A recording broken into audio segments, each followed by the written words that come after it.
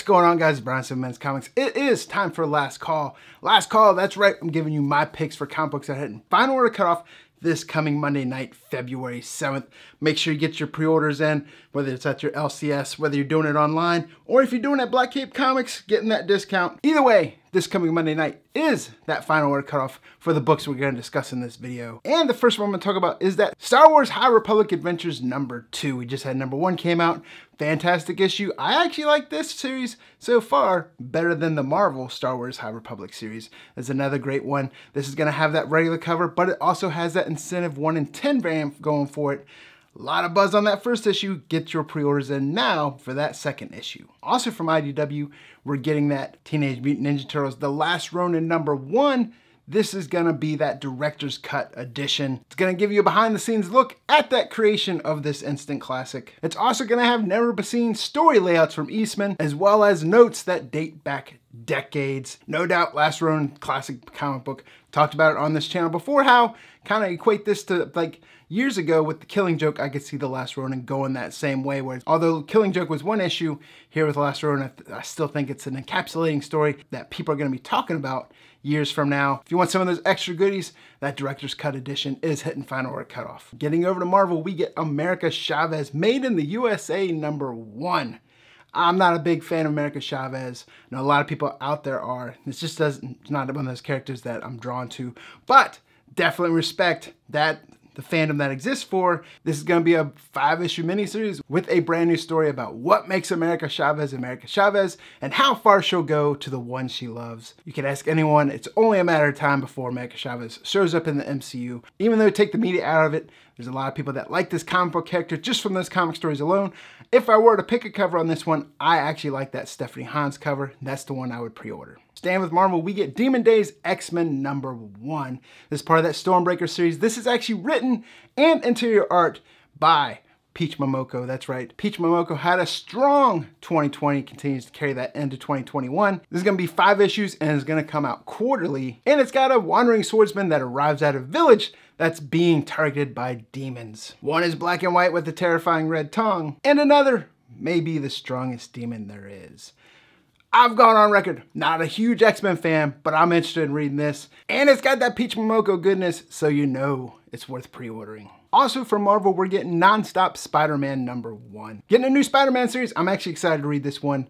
We got a mystery at the Empire State Building that thrusts Spider-Man into a new adventure that starts in Uptown Manhattan and will end up taking him around the world. They say this book is not for the faint of heart, but I, again, Marvel has to sell books somehow. Either way, I'm actually excited to pick this one up. There's a bunch of great covers for it. There's Skottie Young, there's Alex Ross, there's Ken Lashley, as well as a party variant, so you know they're gonna have a midnight release. Although I don't think the print run's gonna be very small, because there's a lot of covers. I am excited to read a different Spider-Man series. Then we're also getting Avengers number 43. We don't talk about the Avengers line too much on the last call. Talk about this one when this art kicked off, dealing with the Phoenix Force I'm a big fan of Jason Aaron. This is one of my my monthly pulls. This Phoenix storyline has been really good. If you haven't been reading it, definitely recommend you do so. Another reason I wanted to bring this up is Jen Bartel is doing those Women History Month variants. This one's got a great looking She-Hulk variant. I think will be very popular. And I would also suggest being on the lookout for those other Women History Month variants that she's doing. She's got some great ones coming up for Black Panther. There's a bunch of other ones out there.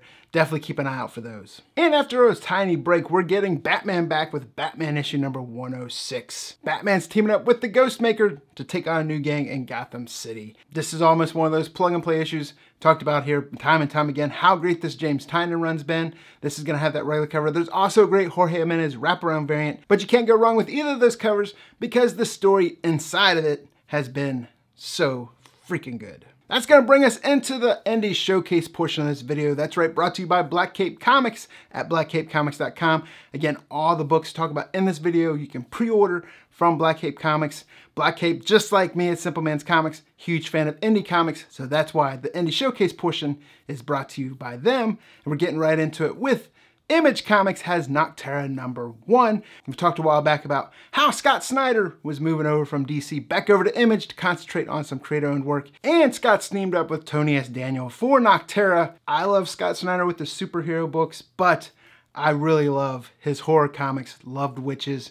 This one looks to be another great horror story. You might be asking, well, what's this book about? Well, 10 years after being plunged into everlasting night, turning all creatures into monstrous shades. The only way to survive is to stay close to artificial light. And with that, we get the protagonist which is Valentina Riggs, who does jobs transporting goods back and forth amongst the unlit roads. Looks to be a big issue from Scott Snyder. Image seems to think so because they have the whole gamut of books for it. You can have regular covers, you can have incentive variants, you have incentive variants all, all the way up to a blank black 1 and 200 variant. Either way, Scott Snyder, even if you just pre-order cover A, I think this is going to be a great series. Scott Snyder's never let us down on these books before, and just like with Wytches, he also has a cover with Jock. Then from Source Point Press, we get Cult of Dracula number one. This is going to be a six issue miniseries, another great horror comic, and if you've seen Rising Sun, the movie, or read the book by Michael Crichton, The Solicit kind of reminds me a little bit of it, but with the horror twist. Here we get two investigators going to investigate a crime, the cult of Dracula mass suicides. Neither of the investigators are prepared for the gravity of the truths that they uncover. That one right there. I'm a big fan of Source Point Press. They put out some great books. This looks to be another great one worth picking up. It's written by Rich Davis and interior art by Henry Martinez. And the last one we're talking about in the indie showcase. This is probably my undervalued indie pick for the week. This is one that I would definitely pre-order just because I don't think a lot of shops will order it. So you want to secure your copy. And it's from Oni Press. Oni Press has put out some great series as well. And we get Jonna and the Unpossible Monsters number one. It's written by Eisner Award winner Chris Samnee. It's another one of those fantasy adventures. I've been liking a lot of those, especially from Boom Studios. But this one is, like I said, is from Oni Press. Here we have Jonna, who has lost her sister and she's been looking for her for over a year. The last time she saw her sister was the first time that she saw one of these monsters that now roam the planet, which are big, ugly, dangerous creatures. But that doesn't stop Jonna. She knows her sister's out there and she'll do anything to find her. Earlier in this video, talked about Avengers number 43, talked about that Jen Bartel woman history variant she has a variant for this book that I actually like better just because I think the art's fantastic, really suits her style. There's some other great covers for here as well. There's also some incentive variants for this, but my favorite, of course, is that Jen Bartel cover for it. Like I said, I don't expect this to be heavily ordered. I don't expect the print run for it to be great. And I've been loving these fantasy stories, so this one I'm definitely pre-ordering. I think this is probably the one that might go unnoticed might not do anything, but either way, I'm in it for the story, so I can't wait for it to come out. That wraps the indie showcase portion. Now we're gonna talk about later printings. Don't have much in late printings this week, but I do have two from Marvel. Daredevil number 26 is hitting a second print. We all know how great 25 was. 25 just had a third print. That's carrying over now, Daredevil 26. So one of my favorite series, talked about this since issue one. Chip Zdarsky is the man. In addition to that, you haven't been reading Stillwater from Image Comics, highly suggest you do. But I digress. Also from Marvel, we get that Star Wars High Republic number two getting a second print.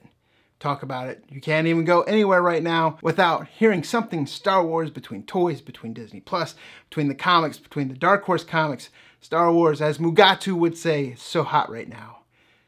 And I think WandaVision is right there with it. In fact, think we might be talking a little bit WandaVision on this week's coming three up, three down.